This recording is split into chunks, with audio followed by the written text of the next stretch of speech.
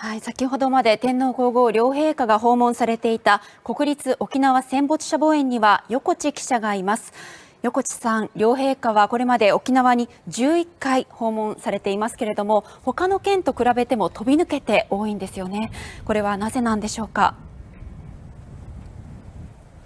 そうですね、まあ、両陛下、今日も沖縄に入られて到着後すぐにこちらの墓苑を訪れてあちらに見えます白菊を手向けられました右が陛下そして左側が皇后さまが手向けた花です。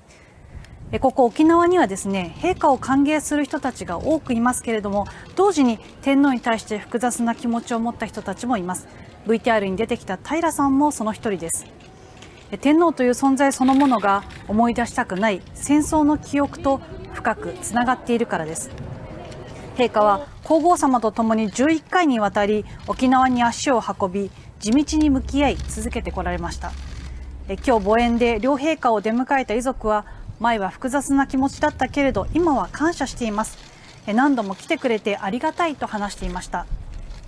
沖縄の人たちの話に耳を傾け歴史や文化を勉強してこられた陛下、